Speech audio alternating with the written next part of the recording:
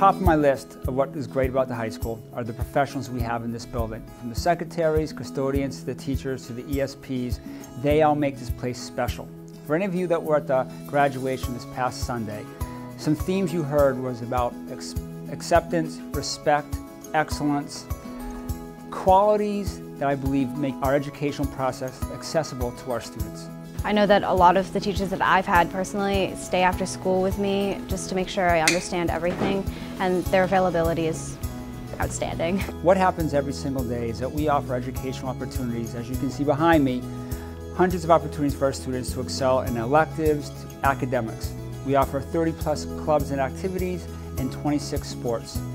That all comes from dedicated professionals giving their best and giving their time and their energy to our students, going above and beyond the call of duty. For, I mean, specifically math, um, I struggle a lot with certain topics. So when I can get extra help, it's, it's, really, it's really helpful.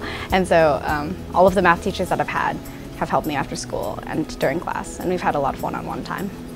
I can guarantee you there's not one person in this building that sticks to a time clock of when something's done. What they stick to is when is the student done? Has the student had their needs met? What can we do to make this the best opportunity for our students? That is Northampton High School and that is what makes it a special place. I think mostly just like their willingness to engage with um, students on like a more individual level where like compared to just like taking having lectures every day and stuff uh, and like being very like distant with students, I think definitely the individual connection is important and I think that's what I'll remember most.